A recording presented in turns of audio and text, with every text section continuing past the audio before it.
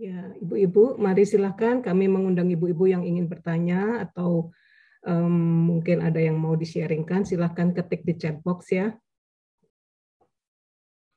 Ya, nanti kalau ada di chat box silahkan uh, Bu Marta untuk uh, bacakan aja ya. Sambil menunggu yang resen mungkin. Hmm. Ya, silakan. Uh, ada pertanyaan ini Bu dari Ibu Nastiti ya. Sudah iya. mengampuni ya, saya bacakan. Sudah mengampuni tapi kadang masih ingat dia yang menyakiti lalu bagaimana sikap kita? Terima kasih. Uh, ini seperti tadi ya yang saya sudah sudah jelaskan ya bahwa kita nggak bisa to forgive and to forget karena yang namanya manusia itu punya yang namanya ini ingatan seperti itu nggak apa-apa ingatan itu. Kalau uh, setiap kali kita ingatan kalau saya ya yang saya lakukan adalah seperti ini. Waktu dulu yang dosen saya itu itu paling membekas banget deh di hati saya gitu kan ya. Uh, karena saya belum pernah ada di satu situasi di mana saya sendirian, saya uh, apa minoritas gitu sendirian dan dihabisi gitu di ruang kuliah. Oleh seorang yang posisinya jelas nggak nggak sebanding ya karena saya itu mahasiswanya dan dia dosennya, beliau dosennya begitu. Dan dan seluruh kelas mentertawakan saya karena itu kuliah umum gitu ya. Dan eh, perih banget di sini rasanya, sakit banget gitu sampai dan dan seperti di challenge kan seperti itu di challenge dengan mengatakan bahwa kalau kamu eh, mau membela diri gitu silahkan kamu bela diri seperti itu dan saya hanya berdiri dan itu kekuatan dari Tuhan pasti. Kalau saya di usia berapa ya? Masih 19 atau 20 tahun.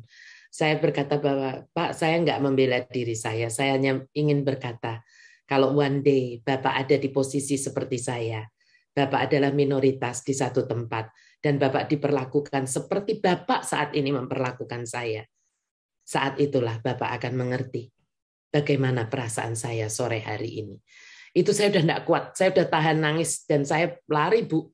Saya lari eh, apa eh, ke ke tempat motor saya, parkir motor saya sampai nyetater terus belum dikontak udah saya starter dan didatengin sama anaknya dari petugas parkir itu, Mbak ini belum dikontak gitu katanya dia, padahal anaknya masih mungkin 9-10 tahun. Dan saya langsung memacu sampai di kos saya, saya masuk, saya nggak pernah masuk tanpa turun buka gitu kan ada anak-anak kos yang tin tin tin gitu saya nggak pernah sih saya biasanya tuh buka sendiri masuk ini saya sampai seperti orang nervous begitu, sudah sampai di kos. Dan akhirnya saya terabas masuk, saya nggak matikan mesin, saya tinggalkan dan saya lari dan belum sampai di eh, kamar kos saya, saya sudah jatuh pingsan.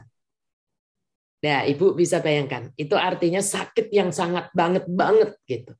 Luka yang saya belum pernah dibegitukan soalnya. gitu. Jadi sakitnya banget gitu. Nah, tapi setelah keputusan mengampuni, apakah saya lupa? Ya nggak lupa, Bu. Gitu. Bahkan di awal-awal, karena tadi ya yang saya berkata, pertama kali keputusan itu one moment. Lalu emosional, itu butuh waktu. Nah, caranya, kalau Ibu tanya caranya adalah bahwa bukan melupakan ya, tetapi sembuh. Sungguh-sungguh wound-nya ini lebih cepat gitu. Nanti yang ada tinggal scarnya, bekasnya aja gitu ya adalah dengan setiap kali teringat eh, perlakuan dosen itu, saya kembali mengatakan, Tuhan saya sudah memutuskan, saya sudah mengampuni dia. Itu yang saya lakukan. Walaupun ngomongnya begitu, Bu, saya nggak mau jaim. Waktu ngomong begitu masih waktu itu ya air kalau sekarang udah nggak itu air matanya tetap bercucuran. Nah, tapi caranya adalah setiap kali ingat dengan peristiwanya. Kalau orangnya ya puji Tuhan saya ini orang yang nggak nggak gampang ingat nama orang. Jadi kalau ditanya nama dosen itu sudah lupa saya. nama dosennya itu sudah lupa gitu. Ya, gitu. Nah, eh, apa karena saya drop, saya akhirnya stop nggak ikut karena itu kuliah pilihan, saya nggak ambil kuliahnya beliau lagi. Eh, namanya saya sudah nggak ingat, tapi wajahnya saya juga sudah tidak ingat tapi perlakuannya sampai dengan hari ini saya masih ingat. Saya bisa ceritakan, tapi sudah tinggal scar dan bukan wound lagi. Ya, caranya dengan setiap kali diingatkan Itu pasti si iblis, ya kan? Setiap kali diingatkan, saya mengatakan bahwa saya sudah mengampuni. Mengampuni dosen itu. Itu, gitu. Karena setan itu jahat, Bu. Setiap kali nanti seperti ini, ketika saya itu mau menolong gitu teman yang yang secara eh, apa secara suku lah begitu gampangnya. Sama dengan dosen itu kayak diingatkan ngapain lu tolong? Lu kan waktu itu pernah disakitin. Saya selalu mengcounter itu dengan mengatakan bahwa saya sudah mengampuni dan orang ini bukan dia. Walaupun sukunya sama tapi ini bukan dia. Seperti itu. Ya, mungkin itu jawaban saya untuk Ibu Nastiti. Silakan kalau ada yang lain. Ya, pertanyaan dari Ibu Natalia Husain. Terima kasih, sebenarnya bukan pertanyaan ya. Terima kasih banyak Bu Gloria atas khotbah yang sangat luar biasa, sangat mengena di hati saya yang saat ini sedang mengalami duka atas orang-orang yang harus saya lakukan pengampunan. Air mata saya terus bercucuran. Sekali lagi terima kasih. Banyak saya ucapkan, saya tak mampu lagi untuk berkata-kata. Terima kasih Bu. Mas Bigat. Terima kasih sama Tuhan. Ya, terima kasih kesaksiannya Ibu Natalia. Uh, pertanyaan dari Ibu. Bagaimana mengampuni suami yang terasa terus-menerus berbuat salah? Dan ini paling susah sebab suami kan yang paling dekat dan serumah dengan kita. Dan bagaimana supaya menghentikan suami dari kebiasaan buruk seperti judi dan mabok dan bagaimana menghadapi anak-anak yang melihat semua ini. Terima kasih Ibu Glory. Oke, iya. Seperti ini. Memang betul, memang betul. Ya bahwa statement bahwa paling susah itu mengampuni orang yang paling dekat sama kita. Dan biasanya orang yang paling dekat itu justru kansnya melukai itu juga paling gede. Ya kan? Kansnya melukai itu paling gede. Makanya kalau di persiapan pernikahan kan suka diomongin. Ya kan? Ketika nanti sudah merit, hati-hati gitu. Kita tetap jangan berpikir bahwa oh, ini kan sudah keluarga sendiri. Biasanya orang dengan keluarga sendiri ngomong nggak dipikir, ya kan eh, ngaco, eh, sudah nggak pakai kata tolong lagi gitu. Padahal orang yang paling dekat itu sebetulnya paling punya kans kesempatan untuk melukai itu lebih gede karena 24 jam sehari kumpul ya. Nah, pertanyaan Ibu Foni adalah gimana caranya? Memang tidak mudah. Saya harus bilang dulu tidak mau kasih angin surga karena ketemu terus tiap hari. Ya kan? Tetapi kembali bahwa pengampunan itu adalah keputusan. Ya kan? Keputusan. Jadi itu harus diputuskan dulu. Keputusan bahwa Tuhan, saya tahu bahwa saya harus mengampuni. Nah, seperti doa Bapak kami kan didoakan tiap hari oleh kita. Jadi setiap kali mendoakan itu, kita tahu, kita seperti diingatkan gitu. Ya kan? Gimana Bu, kalau itu berkali-kali kan lukanya ini belum sembuh, sudah ada luka baru, belum sembuh, ya nggak apa-apa. Ya nggak apa-apa. Setiap kali kita melepaskan pengampunan, dilukai lagi, dilepaskan pengampunan, dilukai lagi, melepaskan pengampunan. Sampai kapan Bu? Sampai Tuhan menjemput kita di awan-awan. Ketika Tuhan menjemput kita di awan-awan, dia melihat hati kita. Yang everyday kita itu mau mengampuni. Walaupun kita every day disakiti juga. Tidak mudah sih, tidak mudah. Pengertian ini tidak mudah. Makanya dulu di HOTK, saya mungkin waktu itu, belum ikut, ya belum ikut join, tapi kita juga nggak ada rekamannya ya. Kayaknya waktu itu kita pernah mengundang satu ibu yang namanya Ibu Ani Pangelah, karena beliau tidak keep secret, jadi diomongkan juga tidak apa-apa ya. Uh, beliau dari uh, apa Eh, hamba Tuhan ya yang beliau itu suaminya itu selingkuh bukan hanya satu kali, selingkuh dengan beberapa orang dan berkali-kali dan selalu kambuh lagi, begitu lagi, begitu lagi. Untuk orang lain mungkin prinsipnya gini, ngapain lu ampunin? Toh dia kambuh lagi, kambuh lagi.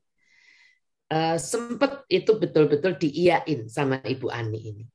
Tetapi ketika akhirnya dia itu masuk di dalam encounter with God, di dalam perjumpaan pribadi dengan Tuhan. Ibu Ani ini merenungkan tentang yang namanya salib.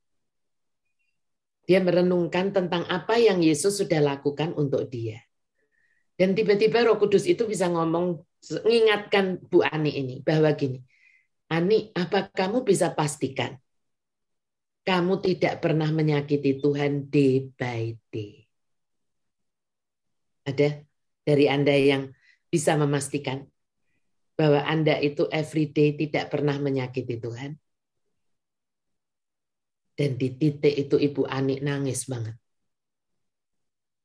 Menyakiti Tuhan dengan apa? Seringkali kan dengan yang kita tidak sadar. Keluh kesah kita itu menyakiti hati Tuhan loh.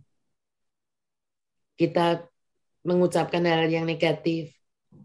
Kita bilang bahwa kapan sih pandemi ini selesai kayaknya tidak bakal selesai. Itu menyakiti hati Tuhan loh. Kenapa Bu Glory? Artinya kan kita tidak percaya bahwa kalau Tuhan mau pandemi itu selesai hari ini juga cek gampang seperti balik telapak tangan. Artinya sebenarnya kita sedang meragukan kemahakuasaannya Tuhan. Itu hanya satu contoh saja. So Ibu Ani ini akhirnya mengerti bahwa aku tuh juga everyday nyakiti Tuhan. Tapi everyday kan ketika aku berkata bahwa Bapak ampunilah kesalahanku, Tuhan ampuni. Dengan catatan aku juga mengampuni kesalahan suamiku itu. Itu yang akhirnya suaminya belum berubah. Bu Ani ini melepaskan pengampunan terus menerus, suaminya gitu lagi melepaskan pengampunan. Siapa yang tahu? Makanya kan tadi kan yang 70 kali 7 itu bukan sama dengan 490. 70 kali 7 sebetulnya adalah bahwa anda dan saya ini, yang ngakunya murid-muridnya Yesus ini, nggak punya hak menentukan batasnya. Sebab tidak ada orang yang tahu batas dari seseorang bertobat. Siapa yang waktu itu bisa menentukan batas bahwa Saulus di perjalanan di Damsik, nah itu nanti dia bertobat di siapa yang tahu?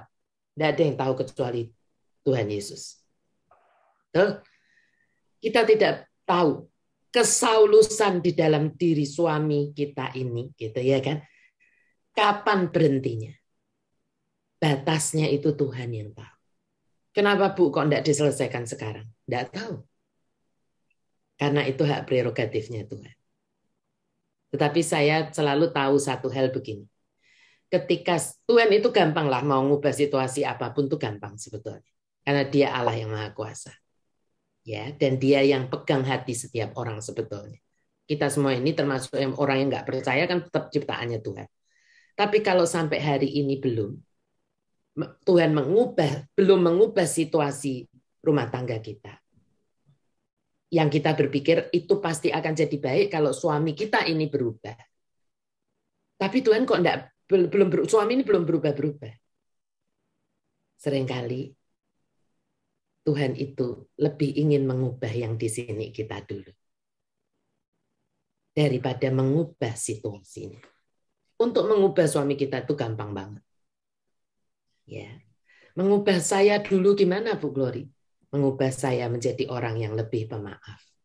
Mengubah saya menjadi orang yang bisa bersuka cita di tengah semua yang masih gelap sukacita mengubah saya menjadi orang yang sukacita saya tidak tergantung kepada keadaan suami saya baik atau tidak baik. Karena kita sedang diproses untuk punya sukacita yang di dalam Tuhan. The joy of the Lord is my strength. Bukan the joy of my husband. ya, itu. Gak mudah, saya juga tahu diucapkan mudah, dijalani tidak mudah. Tetapi ambillah keputusan yang pertama. Yang kedua, emosionalnya itu proses. Emosionalnya itu proses. Tetapi yang ketiga adalah doakan. Ya, doakan. Hadapkan. Ini anak-anak tuh ngelihat setiap kali uh, suami mabuk misalnya ya kan suami begini. Anak-anak melihat Tuhan aku nggak rela anak-anakku seperti ini melihat semuanya ini. Tapi engkau adalah Tuhan yang ajaib. Engkau bisa tutup semua ini dari mata anak-anakku. Ya nggak mungkin toh Bu Glory. Menurut siapa? Kan menurut pikiran kita. Saya punya contoh kok. Saya punya teman yang papi maminya akhirnya divorce. Ya sebelum divorce ya tahu kan kalau nggak ada apa-apa masuk divorce gitu ya. Sebelumnya itu ya begitu. Suaminya katanya juga pemabuk, main perempuan dan sebagainya seperti itu gitu. Tetapi kan dipikirnya anak-anaknya dari bapak ibu ini pasti akan jadi anak-anak yang broken home dong. Pasti nggak benar dong. Nah saya mau cerita.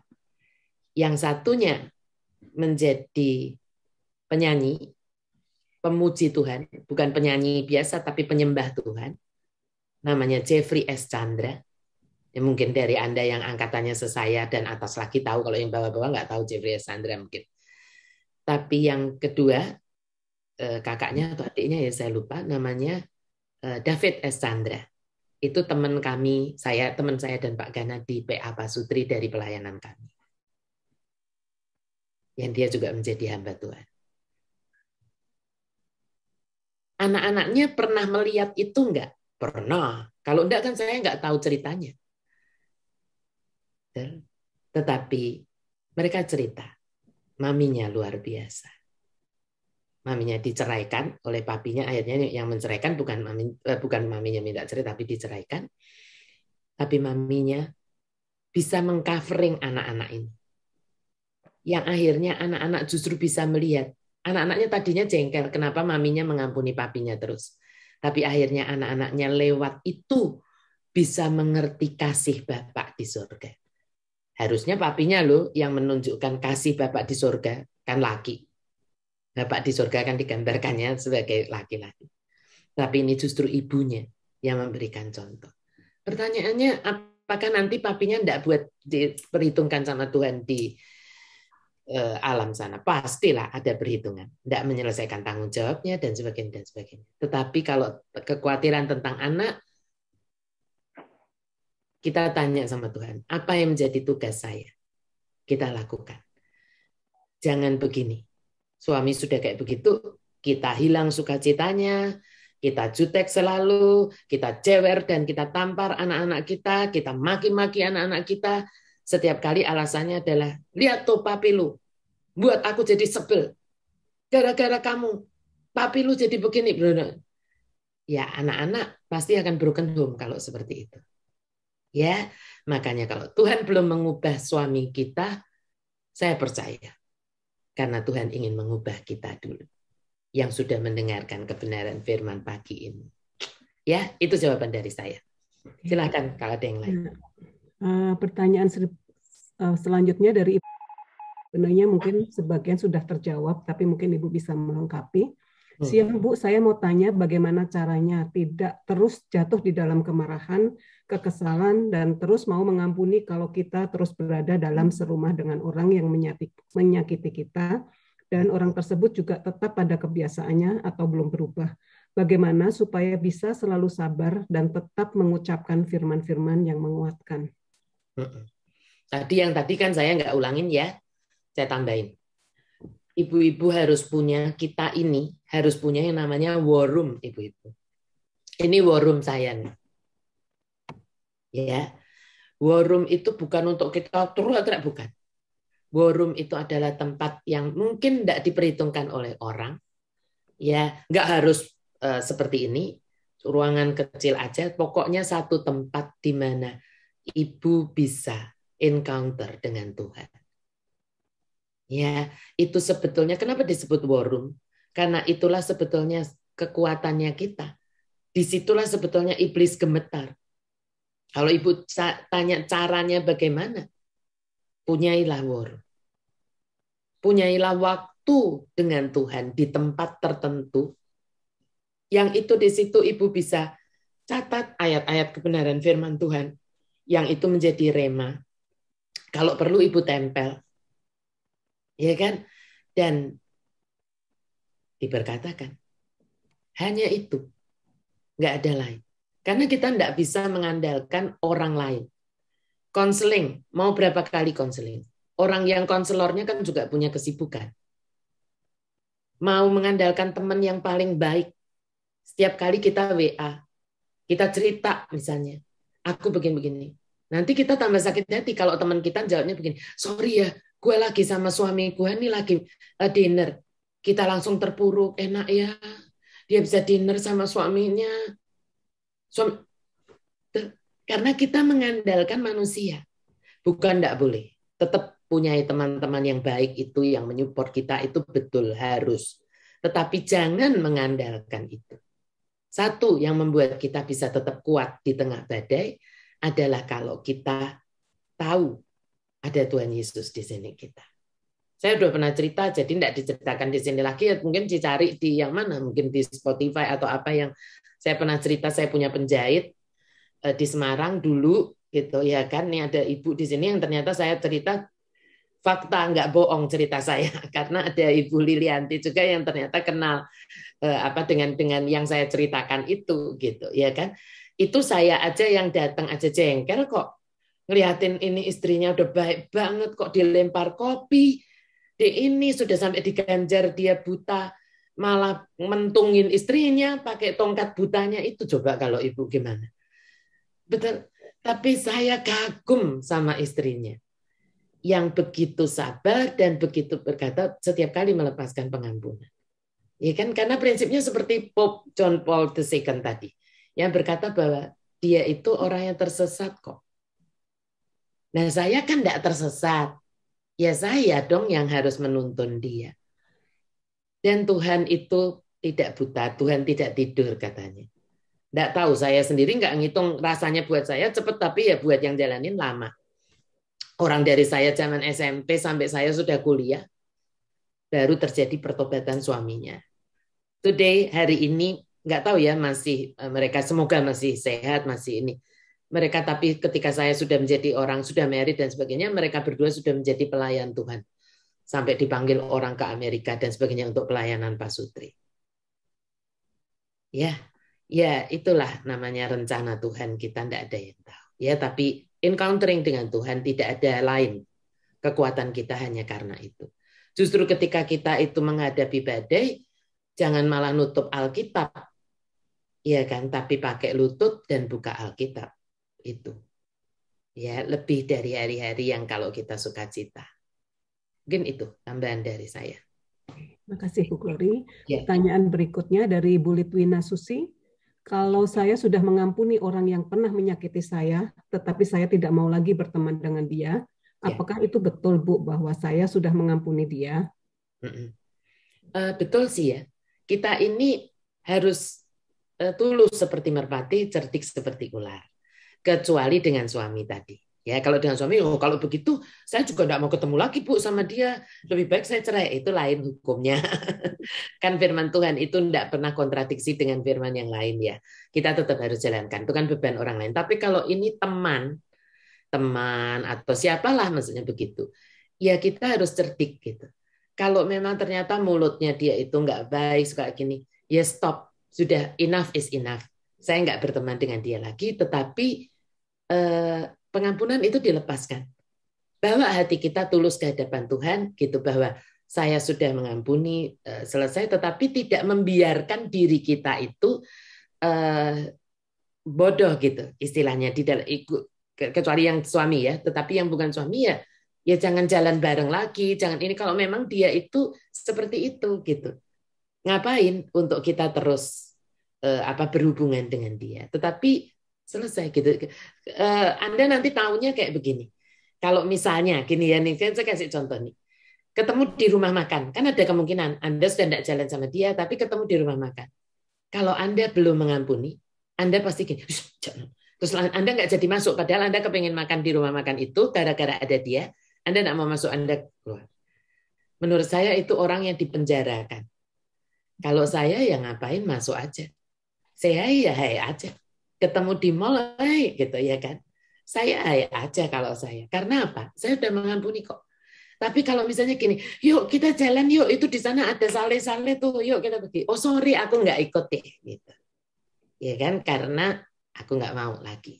Sudah gitu. Tapi itu, ya eh, kita ketemu ya nggak apa-apa. Waktu eh, begini harus ketemu wajah kita juga bisa tetap biasa, tetap sukacita. Itu tolok ukurnya bahwa Anda sudah mengampuni. Tapi ketika kita masih gitu di sini rasanya gitu, ya kan? Nah, cek and recheck lagi. Saya nggak mau menghakimi, tetapi cek and recheck di hadapan Tuhan. Gitu. Tapi untuk tidak berteman terus kecuali eh, dengan suami, ya. Tapi yang lainnya itu kita harus lakukan itu memang. Itu jawaban saya. Oke. Ya, uh, pertanyaan berikutnya dari Ibu Fung Suryana. Bu, bagaimana supaya bisa membantu teman yang sama-sama sedang marah karena salah paham? Dua-duanya panas dan saling marah. Kalau dipertemukan, apakah baik karena keadaan mereka labil dan nggak tenang? Nah, ini di luarnya itu dulu ya. Jadi ya nggak baik pasti. Kalau keduanya masih panas, ditemukan api sama api, ya pasti kebakar nanti, ya kan gitu. Jadi uh, lebih baik kalau memang ibu berteman dengan dua-duanya dan bisa menjadi istilahnya sebelum menjadi mediator lebih menjadi yang membantu mengingatkan tentang yang namanya pengampunan ini dengan cara yang bukan harus khotbah seperti saya, tetapi dengan ya mendekati, ngobrol seperti itu, tetapi bukan ngomporin, bukan membela kanan dan kiri. Ya, minta hikmat dari Tuhan. Tapi bukan mempertemukan dulu, saya rasa. Itu jawaban dari saya. Oke. Uh, ini masih ada sembilan pertanyaan, tapi mungkin uh, kita batasin ya, Bu ya. Iya. Nanti soalnya ada pertanyaan dari saya. Nanti kalau enggak nggak ada yang dapat ya. Jadi yeah. uh, pertanyaannya sudah uh, cukup. Mungkin nanti bisa dilanjutkan dengan chat Eh, ke Ibu Clara mungkin ya untuk berikan input atau apa. Masih ada waktu sedikit. Kalau ada pertanyaan yang mungkin Bu hmm. Marta bisa pilih. Ya. ya. Mungkin dua pertanyaan lagi masih bisa saya rasa. Dua pertanyaan aja. Oke, saya bacakan ya. pertanyaan berikutnya. Hmm. Nanti kita ada pengumuman ya Ibu-ibu. Jadi tunggu setelah doa. Jangan pergi dulu karena ada pengumuman yang sangat penting Eh, karena kita memasuki mau memasuki September itu ada uh, Rosasana ya nanti saya akan umumkan. Silakan. Uh, Oke, okay. pertanyaan dari dari Ibu Maria Chong. Tuhan Tuhan saya sudah mengampuni, tapi kalau berhubungan dengan orang itu bisa emosi lagi, bisa meledak, teriak. Bagaimana cara mengatasinya? Hmm. Ya, uh, Justru itu, ketika kita sudah melepaskan namanya pengampunan, one moment, kita sendiri harus berproses gitu. Ya kan, berprosesnya dengan apa? Dengan ya itu tadi, kita punya war room, kita punya hubungan yang dekat dengan Tuhan, kita itu mempelajari firman Tuhan bukan hanya untuk pengetahuan, tetapi kita praktekkan di dalam hidup kita sehari-hari sehingga gitu, ya kan, eh, kitanya juga diubahkan begitu, ya sehingga Eh, ada respon yang berbeda terhadap kesalahan yang sama. Ya kan?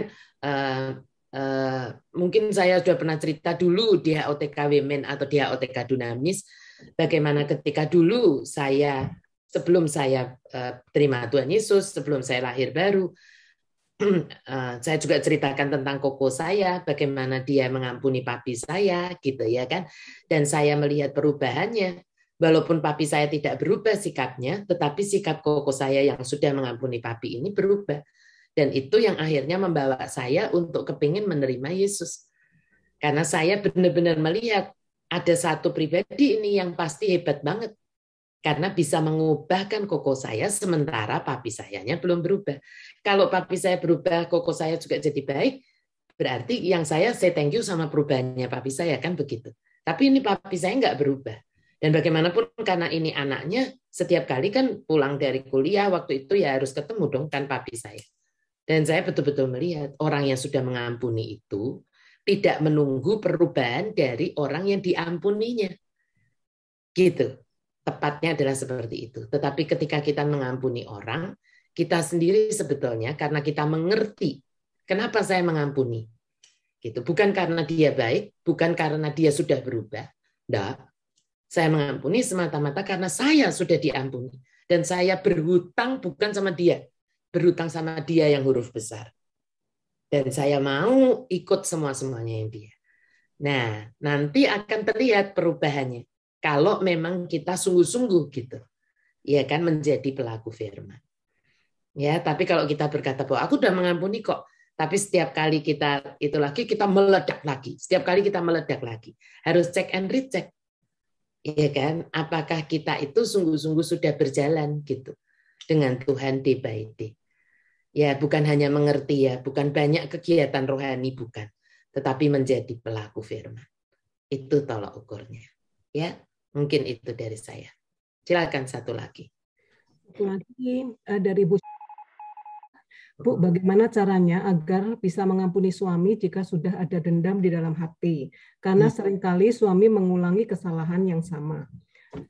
pertanyaan kedua, dan bagaimana caranya agar bisa memberi pengertian kepada anak yang tidak bisa menerima pertengkaran orang tua? Iya, betul. Yang pertama tadi kayaknya kan saya sudah jawab. Ya kan, gitu. Kalau yang paling sulit itu pasti dengan yang namanya pasangan kita, suami kita, karena setiap kali ketemu seperti itu, gitu. Dan dan ini kan sering kali ditwist sama setan. Setan bilang begini, eh, Makanya nggak enak kan jadi orang Kristen. Coba kamu bukan Kristen. Kan kamu bisa cerai aja. Kalau cerai kan beres. Anakmu juga nggak lihat pertengkaranmu setiap kali. Orang suamimu juga nggak bisa berubah juga kok. Tapi karena kamu Kristen, apa yang dipersatukan Allah tidak boleh diceraikan oleh manusia. Ya udah, kamu kayak di penjara kayak begini. Ibu-ibu saya harus ngomong setan itu kelihatannya benar, padahal ditwist. Tuhan tidak pernah salah ketika dia berkata bahwa apa yang dipersatukan Allah menjadi satu daging tidak boleh diceraikan oleh manusia. Ya kan? Kalau ada ini dan itu pasti ada kesalahan dari pihaknya manusia, bukan salahnya Tuhan. Itu sebabnya yang belum terlanjur kan dibimbing pernikahan dengan sebaik-baiknya tiga hari itu sebetulnya kurang ya kalau di Katolik menurut saya itu tiga bulan atau enam bulan harusnya ya seperti itu gitu jadi eh, apa awalnya sebetulnya sering kalinya kan sudah salah Tuhan meminta kita dengan yang seiman dalam artian bukan hanya satu agama tetapi kita seiman untuk kita itu yang sama-sama tunduk kepada ketuhanannya Tuhan Yesus dan sama-sama menjadi pelaku firman. Tapi kalau itu sudah tidak, ya pastilah timpang seperti itu. Ya pastilah timpang. Ini dari yang seperti itu aja sudah sudah timpang. Apalagi kalau yang satunya ini e, melakukan hal-hal yang seperti itu tadi, perselingkuhan, mungkin juga KDRT atau apa seperti itu. Nah, tergantung kita ini mau menjadi crowd. Crowd itu artinya sama dengan ini tadi, yang buat masalah, yang selingkuh, yang ini atau kita mau above the crowd. Above the crowd itu apa? Orang yang di atasnya crowd ini. Suami kita itu crowd, domba yang sedang tersesat. Nah, ibu-ibu atau ibu yang bertanya ini, kita itu tidak tersesat lagi karena kita sudah tahu kebenaran firman-Nya tentang pengampunan, tentang berbuat baik, tentang ya sebetulnya tentang kekudusan, tentang semuanya. Tapi dia nggak ngerti atau nggak mau ngerti. Nah persoalannya kita harus mengerti dulu gitu bahwa hidup kita itu bukan hanya berhenti di dunia ini. Hidup kita itu sampai nanti. Nutup yang di sini, buka yang baru di sana. Dan kalau yang di sini itu orang suka bilang begini, enggak sampai 100 tahun. Tapi sekarang ada yang umurnya 100 tahun. Oke lah, saya berkata, nggak sampai 200 tahun. Ya kan? Tetapi gitu, yang di sana itu disebutnya eternity, kekekalan. Nah, kita harus mengerti apa yang mendrive kita ini. Yang memotivasi kita mau mengampuni, memotivasi kita mau membuang rasa marah, rasa dendam, seperti itu. Itu apa? Semata-mata hanya karena kalau kita berkata bahwa waktunya sudah sangat singkat, itu yang memotivasi kita. Walaupun singkatnya ini kita tidak ada yang tahu. Tetapi saya mau didapati tetap setia. Itu saja sebetulnya yang membuat itu tadi Ibu Ani Pangelah mau berubah, penjahit saya yang di Semarang itu mau tetap mengampuni suaminya. Suaminya belum berubah. Waktu dia mengampuni. Masih disakiti terus. Lah iya gitu. Ya kan? Nah eh, gimana caranya? Sekali lagi nggak ada nggak ada lain gitu. Eh, apa? Ya setiap kali gitu. Kita sendiri datang kepada Tuhan kita sendiri harus minta Tuhan saya kok masih ada merasa marah ya? Tuhan kok saya masih ada rasa dendam ya Tuhan saya minta ampun. Nah, setiap kali kita minta ampun kan langsung Roh Kudus akan ingatkan hukum kerajaan sorga. Kamu mau melepas pengampunan enggak? Kan seperti itu saja sebetulnya kan. Kalau kita sungguh-sungguh memahami itu. Ya kan? Kita bisa berkata bahwa Tuhan ubahkan aku dulu. Nah, bagaimana anak-anak ini? Anak-anak yang tidak anak-anak rasanya tidak bisa melihat pertengkaran orang tuanya. Ya, bertengkar itu kan kalau ada sparring partnernya tuh. Makanya jadi bertengkar. Betul enggak? Yang satu lempar sepatu, yang satunya lempar piring. Nah, itu perang. Itu menjadi pertengkaran. Tetapi kalau yang satu melempar sepatu, yang satunya enggak ngelempar apa-apa. Mungkin yang satunya akan kesel sendiri dan pergi. Seperti itu. Semuanya terpulang kepada kita Perunungannya terpulang pada kita. Ada anak yang keluarganya terus berantem karena dua orang ini papi maminya tidak ada yang mau menjadi pembawa damai. Ya anaknya menjadi korban. Yang saya bilang kemarin itu bahwa ada anak yang bunuh diri dan dia menulis surat. Dia rasanya kupingnya sudah peka, hatinya sudah terlalu berat. Kenapa? Karena terus mendengar pertengkaran setiap hari dia pulang dari dia selesai daring juga ada pertengkaran waktu di tengah-tengahnya daring juga masih uh, apa dengar pertengkaran yang dia rasanya juga malu dan sebagainya. Dan akhirnya dia mengakhiri hidupnya dengan bunuh diri. Ya kan? Tapi kan saya juga berkata ada anak-anak yang keluarganya tidak harmonis tapi mereka tidak memilih bunuh diri. Mereka bahkan memilih melayani Tuhan. Kenapa anak-anak ini? Dia tidak bisa mengubah orang tuanya tapi dia bisa mengubah yang di dalam sini bersama dengan Tuhan. Sama toh maminya kan juga begitu. Iya kan? Ada mami-mami yang kalau aku dibeginiin ya ya aku balas seperti itu.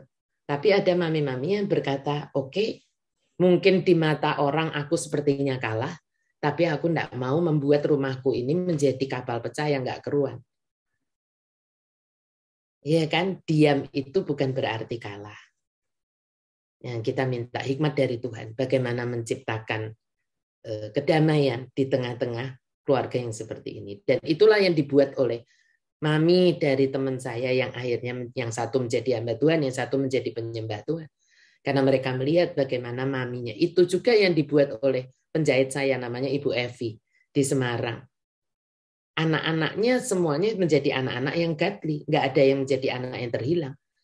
Padahal saya yang tamu aja sebelum, yang cuma tamu aja datang aja ngelihat perlakuan suaminya Bu Evi itu ke ke Bu Evi itu saya aja sebel. Bayangin anak-anaknya. Ya kan? Tetapi maminya mengcovering itu. Pilihan ada di tangan kita, Bu. Nggak ada yang mudah di dalam hidup ini. Setiap kita itu punya pergumulan. Tetapi kita mau bawa ke mana keluarga kita ini. Kalau kita mau dan kita mau peran kita itu mau apa? Kita bisa menjadi peran yang victim. Victim itu artinya begini, korban. Kita bilang begini, ya gimana Bu Glory? Atau gimana Tuhan? Engkau nggak ubah-ubah keluargaku kok, nggak ubah suamiku kok, ya rumah tanggaku ya kayak begini, jadi kayak kapal pecah. Jadi kayak neraka. Ya anak-anakku ini korban. Bisa. Itu namanya kita punya victim mentality atau kita bisa menjadi orang yang mau menyelamatkan keluarga kita. Dengan cara apa? Dengan respon kita yang berbeda terhadap kesewenang-wenangan suami, terhadap kesewenang-wenangan mertua misalnya, kesewenang-wenangan siapa pun yang ada di dalam rumah kita dan kita memilih untuk sacrifice. Kekuatannya didapat dari mana? Nggak ada lain. Orang yang mau sacrifice harus menimba kekuatan itu dari Tuhan. Nggak ada lain. Dan akan berkata bahwa aku aku mau membuat anak-anakku ini, walaupun punya papa yang seperti itu, tidak menjadi anak-anak yang broken home. Saya juga datang dari keluarga yang bukan harmonis. Tetapi mami saya selalu mengcovering itu. Padahal mami saya belum orang percaya waktu itu. Ya kan? Mami saya sering kali memilih diam ketika papi saya oh, marah seperti itu. Saya melihat enggak? Saya melihatnya. Saya melihatnya. Hati saya sering kali hancur. Air mata saya sering kali jatuh. Tetapi kalau saya bilang sama mami saya waktu saya remaja, Mi, kok mami mau sih merit sama papi yang kayak begini? Mami saya jawabannya begini. Itu luar biasa. Mami saya jawabnya begini. Iya, mami ini orang kuno. Dulu mami nggak ngerti. Taunya ya begitu aja baik. Awalnya baik. Mami nggak ngerti, nggak menjajaki sampai dalam karakternya dan sebagainya. Tapi mami saya nggak berhenti di situ dan nangis. Iya, mami ini menderita banget, mami ini nasib enggak. Mami saya langsung sambung dengan seperti ini. Anda semua perlu dengar. Mami saya selalu bilang begini. Makanya, mami bilangin sama kamu. Hati-hati kalau kamu besok pacaran. Saya SMP. Kamu kan sudah jadi anaknya Tuhan. Kamu bisa tanya sama Tuhan. Jangan kayak mami. Kamu harus pilih sungguh-sungguh yang sama-sama punya Tuhan juga. Tapi lanjutannya adalah begini. Kalau saya bilang sama mami saya, lawan aja Mi, lawan papi. Kalau enggak, papi semakin menjadi-jadi. Mami bilang, enggak. Aku enggak mau jadi orang yang dosa. Itu suamiku, bukan untuk aku lawan. Ya sudah, aku terima ini. Walaupun prinsipnya bukan 100% benar. Tetapi mami saya selalu bilang begini, bukan bagian kamu juga untuk melawan papimu. Bagianmu, bagaimanapun itu papimu. Kamu harus hormati dia. Enak nggak saya diomongin sama mami saya begitu? Nggak enak, Bu. Tetapi baik saya maupun kakak saya tidak menjadi orang yang broken home. Dan kami menjadi hamba Tuhan. Ya, karena ada seorang ibu yang mau sacrifice, yang mau berkorban. Makanya waktu Cosmopolitan buat eh, lomba Fun Fearless Female, saya mengirimkan Fun Fearless Female. Siapa Fun Fearless Female yang saya kenal dalam hidup saya? My mom. Ya, dan saya menulis itu dan saya menang. Ya, ibu-ibu dan saya sekarang jauh lebih beruntung karena kita punya komunitas, Eh, yang belajar kebenaran firman. Mami saya enggak. Tetapi mami saya bilang, kalau keluarga saya, kalau saya hubungan dengan suami seperti ini, saya enggak mau anak-anak saya begitu. Makanya saya harus berdiri, bukan sebagai korban, tetapi sebagai pahlawannya. Ya, saya lahir dari seorang mami yang seperti itu dan saya sampai hari ini tetap bisa melihat kehebatan papi saya. Kelebihan-kelebihan papi saya karena mami saya. Ya, jadi kalau Anda dan saya yang sudah kenal Tuhan Yesus nggak bisa seperti itu dan cuman bilang jadi gimana dong? Karena suami saya begini, karena begini ya sudah anak saya jadi korban. Masa Anda kalah dengan mami saya yang tidak mengenal Yesus waktu itu? Ya. Ya, itu jawaban saya.